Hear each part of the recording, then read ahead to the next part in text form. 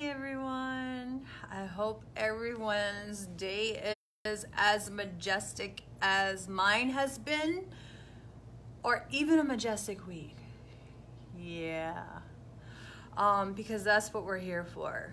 We're here to create magic. We are here to be magic. We are here to live magic and spread magic, right? Because we're magical beings, right? So, to Okay, so we had a little bit of a bug, but it's magic, right? A manifested internet. So, yeah, let's talk about uh, what we talked about yesterday uh, as a continuation of our eight day challenge. So, yesterday we sort of spoke about like the body, how it's your sacred temple, the foods that you should like nourish yourself with without restrictions or sabotaging yourself because we're not made to be perfect. I don't even know like who created the word perfect cuz we really like honestly like what in the hell were they thinking? Um because there is no perfect imperfection. So it's actually a word that should be obsolete because it's a word. Hey, Maggie, thank you for joining.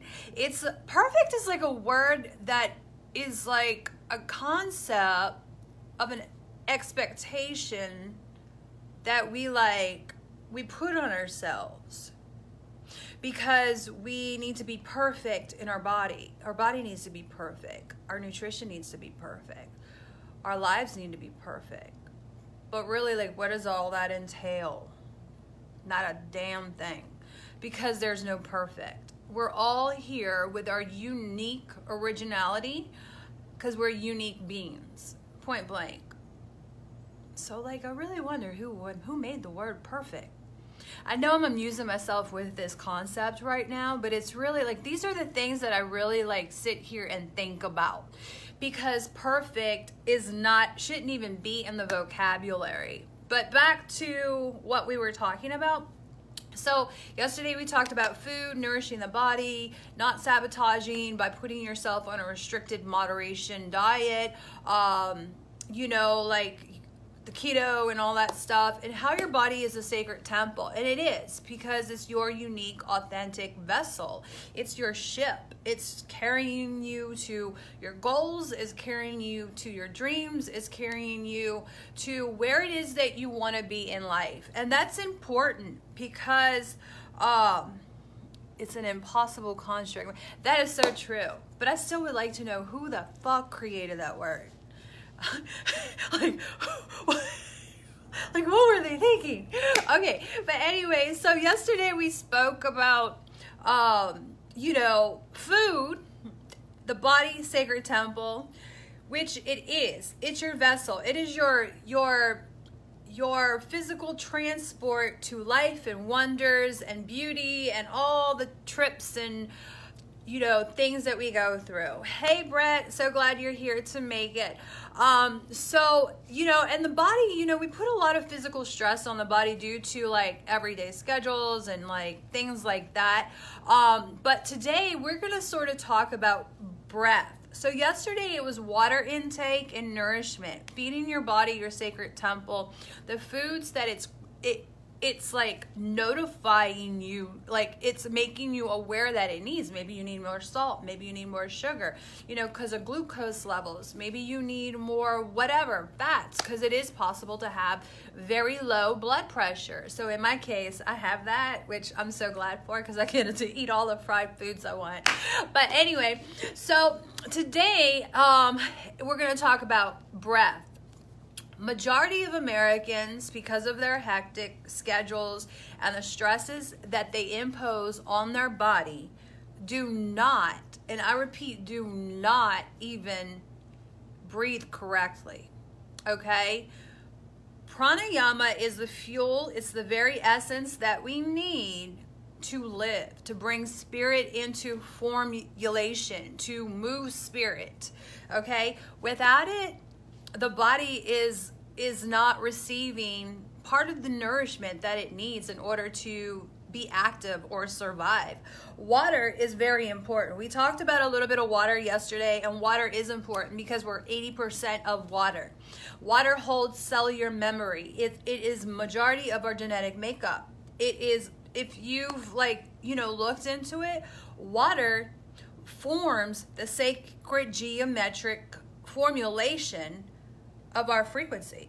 It forms the little sacred geometry figures within our DNA. It's important. We need water.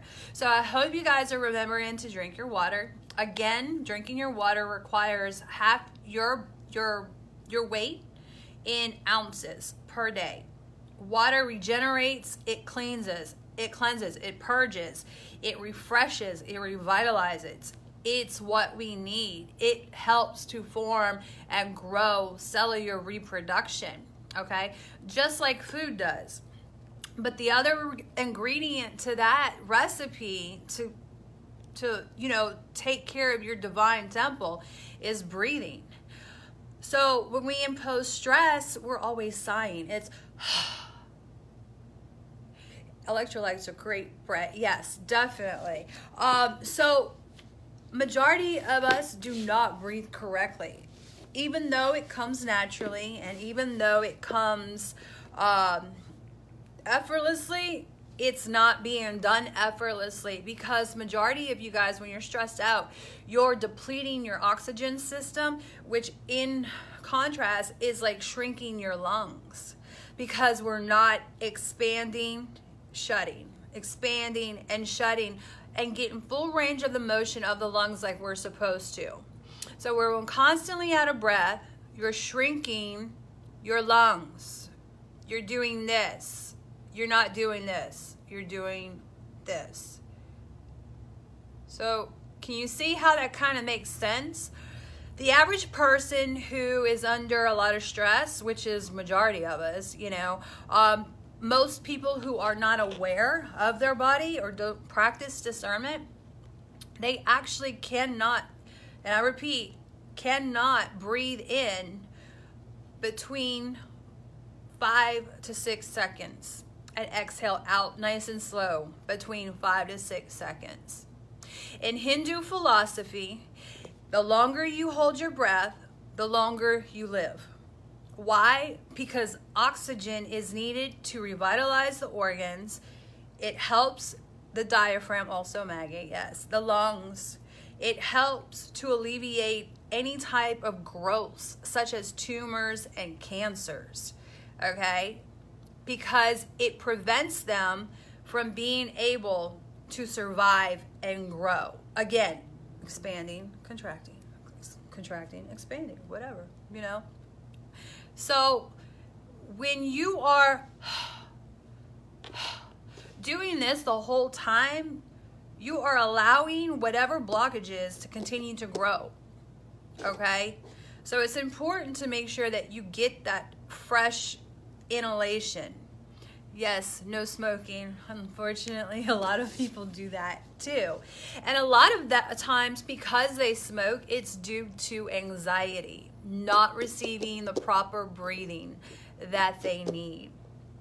Okay? And that's why people smoke. You want to know how I know? Because I used to smoke. I used to smoke up to two packs of cigarettes a day yeah, so bite that one. I know it's like unbelievable. What? She smoked? Um, what got me to quit smoking was actually my fitness because I got active. I started meditation. I started doing yoga. I started practice breathing pranayama. And I realized that, you know, all those anxiety attacks that we have or have had in the past was due because lack of oxygen, because we're not receiving the vital nourishment to calm, center, and allow ourselves to simply be. Okay? So, one example of an exercise that you can do at home on your own time, we're to do a breathing meditation, like a, a little breathing exercise. Um, a different one that I'm showing, like telling you to do on your own, um, is inhaling through. It's called the five five five method. It's five breaths in through the nose, holding that that inhalation for five seconds and then exhaling out for five seconds. And what that does is it regulates the breathing so that way you're getting uh, the same amount of measurements in the body as you are out. Okay, the 5 by 5 555 method is great for beginners and it actually enhances your lungs capacity over due time to be able to go further. So after repeatedly doing the, the 555 method, um, you should notice, you should be practicing this every day because I know half of us are not even getting the right breathing. We may practice pranayama, we may do yoga, we may practice meditation, but in your everyday field, like going to work, getting in the car, being stuck in traffic, having to deal with, you know, road rage or like whatever monstrosity out there, I guarantee you are forgetting to practice to breathe. So when you're in uh, situations like that, really hone in, ground yourself, and do the five five five method. Okay, because it's gonna help you to calm down uh, and alleviate some of that stress. Because also when you breathe properly, you are expanding with your aura field. So there are meditations on YouTube that like repair or like heal your aura. Um, and that's great. Those are important to do too. But what those meditations are, are just simply fixing your aura by, uh, oh, I like that. Hey, I, I did a special effect today. Can you guys tell? so so magic. So but okay so back to decrease yes it does decrease cortisol and adrenaline your root chakra your flight or fight mechanism. And so what these meditations on youtube do is that they actually fix the holes the rips and tears or the density within the aura However, breathing is important. Breathing exercise is important to expand that aura. So you've got one meditation, and nobody's really done this in the uh, YouTube field community. Uh, I see a lot of like healings for repair your aura, this and that, but no, none of them really go over expanding your aura. So it's basically like a self-defense mechanism. When you do the breathing, you inhale, you expand out you are pushing out the shit that is trying to eradicate your energy field. Okay? So five by five five five method. Okay, I'm saying five by five by five. That's too long. Five five five method. So make sure that you practice that. It should be a part of your practice at least for five minutes every day. And if not, at least you can do uh, alternative breathing, which I think is pronounced Nadi Shodhana. I don't know if I'm saying that right. Brett, you probably know, girl. You so you you a pro. Um, and so what we're going to be doing is doing alternative breathing to help balance the energy fields.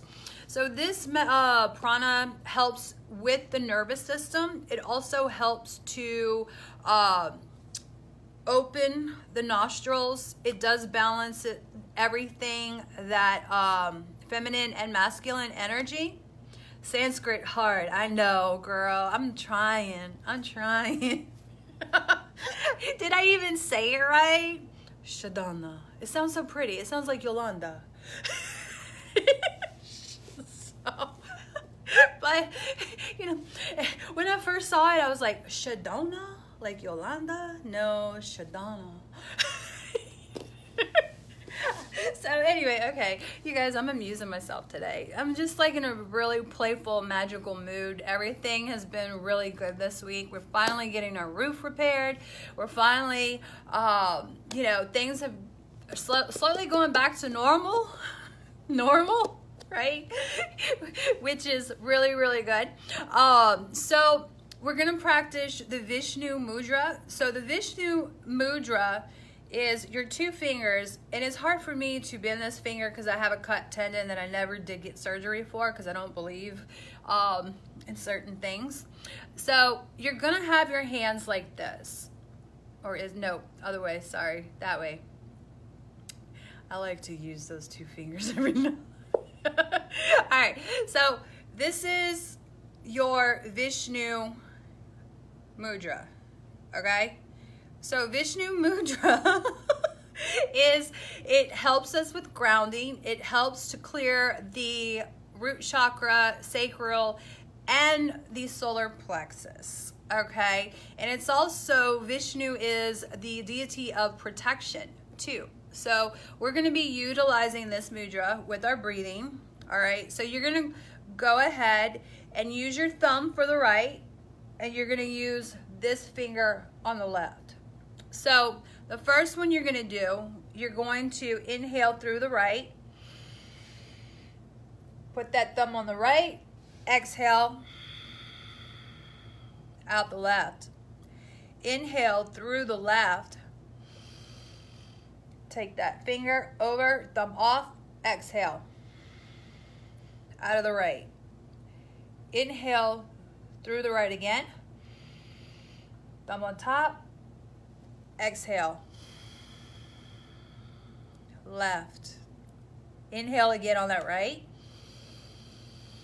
Finger on top. Exhale right. Inhale through the right. Exhale left. Breath should be smooth and synchronistic. Exhale right. Inhale right. Exhale left. Inhale left. Exhale right. Inhale right. Exhale left. Inhale left. Exhale right. Inhale left. Hold that breath, bringing Vishnu Mudra down. Hold, hold, hold. Exhale out the mouth, nice and smooth. Five seconds in through the breath. Hold for five seconds. Exhale out for five seconds. Inhale for five. Hold for five. Exhale when you're ready, out for five. Inhale once more for five seconds. Hold that breath for as long as you can. Let that lung really set in, expand, contract. Hold, hold, hold. How long can you go? Hold, hold, hold. You're probably done by now. I'm still holding. Hold, hold, hold. Yeah. Exhale out.